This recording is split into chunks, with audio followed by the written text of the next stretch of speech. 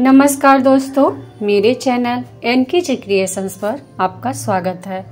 सेहत से जुड़ी बहुत काम की बातें और घरेलू उपाय। नंबर एक वॉशिंग मशीन में कपड़े डालते समय अगर आप ब्लीच का इस्तेमाल करते हैं तो ब्लीच की जगह नींबू का रस डालें। इससे कपड़ों को नुकसान भी नहीं होता है और कपड़ों की चमक भी नहीं जाती है। नंबर दो बवासीर की दिक्कत हो तो ताज़ा दूध से पैरों की मालिश करें। इससे आपको बहुत ही फ़ायदा मिलेगा।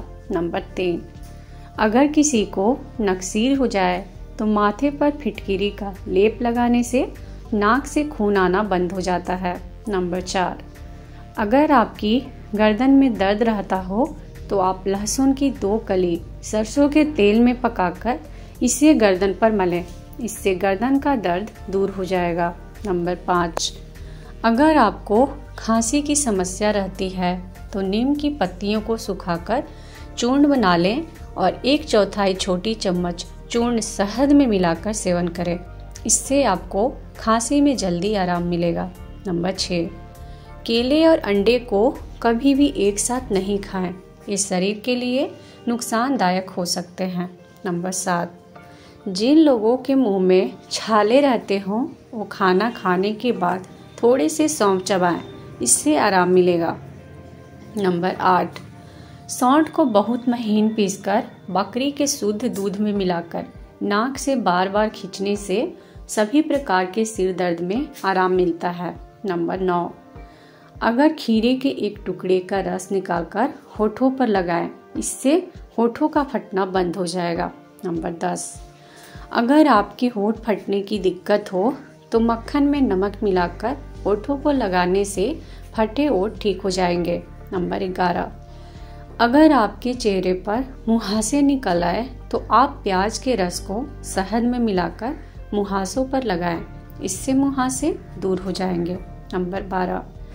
खड़े होकर कंघी करने वाले लोग जल्दी बूढ़े हो जाते हैं, क्योंकि इसका सीधा असर इंसान के दिमाग पर पड़ता है। नंबर तेरह। रात को नींद पूरी न होने से चेहरे पर झुरियाँ आने लगती हैं। नंबर चौदह। कमर दर्द से राहत पाने के लिए उबलते हुए पानी में थोड़ा सा सौंठ का चूरन मिलाकर काढ़ा बनाकर पिए। इससे कमर के दर्द में आराम मिलता है। नंबर पंद्रह। अगर आपको पेट में दर्द हो रहा हो तो पुदीने के पत्तों को चबाएँ। नंबर सोलह। कच्चा सलगम खाने से दिमाग और नज़र तेज होती है। नंबर सत्रह। रोज़ाना सुबह गर्म पानी के साथ एक चम्मच मेथी का चूरन खाने से घुटनों के दर्द में आराम मिलता है। नंबर अठारह। रात को सोते समय पैरों के तलवे पर देसी घी से मालिश करें। इससे पैरों का सुनपन दूर हो जाता है। नंबर उन्नीस। रात को सोते समय चार चम्मच देसी घी में थोड़ा सा केसर मिलाकर लेने से कब्ज की समस्या दूर हो जाएगी। नंबर बीस। अगर आपके सिर का दर्द ना जाए तो तुलसी की पत्तियों के रस में अदरक का रस मिलाकर माथे पर लगाएँ और थोड़ा सा रस पिए। इससे सिर दर्द ठीक हो जाएगा।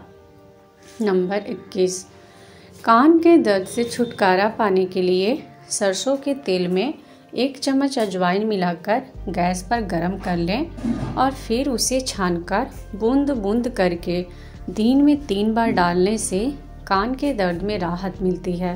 नंबर 22 10 ग्राम अनार के छिलकों को पानी में उबालें और फिर उसमें एक चुटकी फिटकेरी मिलाकर बार बार कुल्ला करने से गले की सूजन में आराम मिलता है। नंबर तेईस। बहरापन दूर करने के लिए तुलसी के पत्तों का रस सरसों के तेल में मिलाकर गर्म करके कान में डालें। इससे कान का बहरापन दूर हो जाएगा। नंबर चौबीस।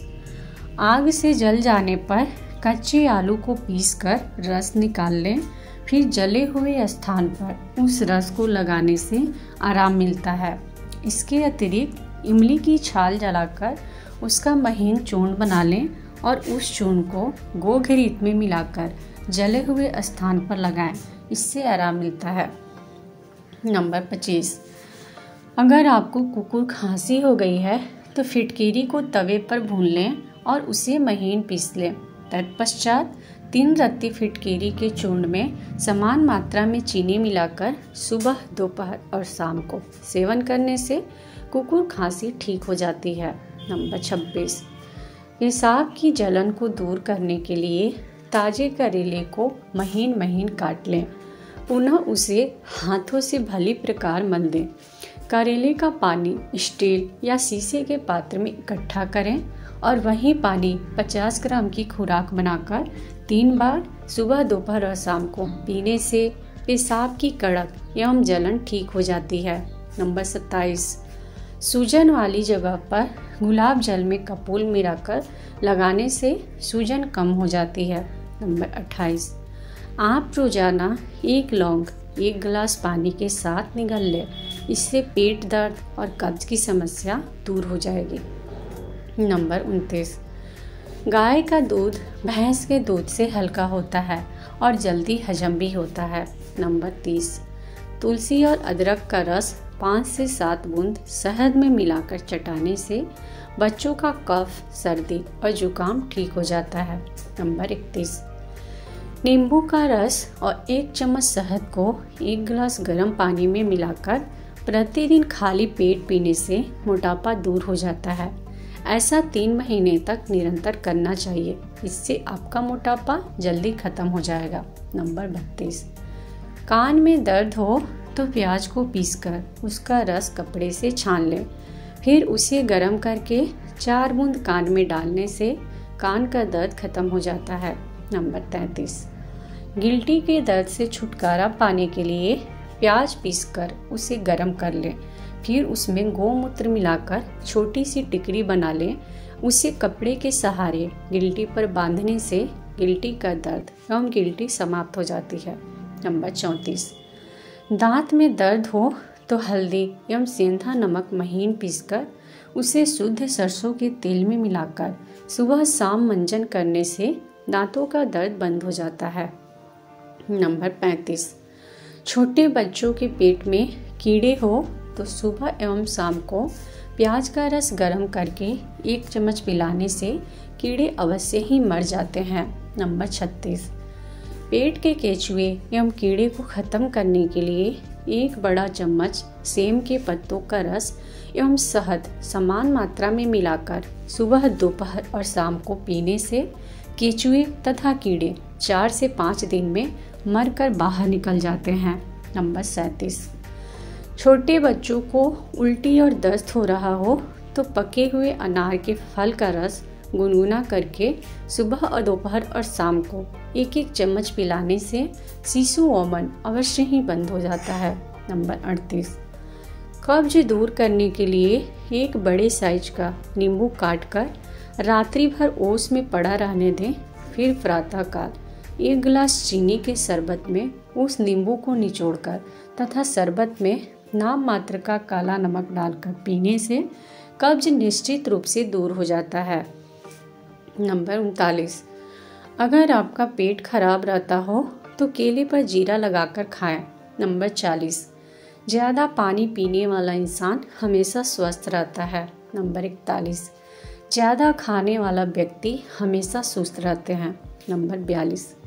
अमरूद की राख खाने से पुरानी से पुरानी खांसी भी दूर हो जाती है। नंबर तिरालीस। अगर माहवारी में टांगों और पेट में दर्द रहता हो तो अदरक और नीम के पत्तों का रस पीने से जल्दी ही आराम मिलता है। नंबर चौवालीस। रोज़ाना खाली पेट अनार का सेवन करने से पुरुषों में शारीरिक समस्याएँ नहीं होती हैं। इसके साथ ही शारीरिक कमज़ोरी जैसी समस्याएँ भी कम हो जाती है। नंबर पैंतालीस। महिलाओं की तुलना में पुरुषों के लिए अनार खाना अधिक फ़ायदेमंद होता है। दोस्तों आपको यह जानकारी कैसी लगी, हमें कमेंट बॉक्स में ज़रूर बताएँ।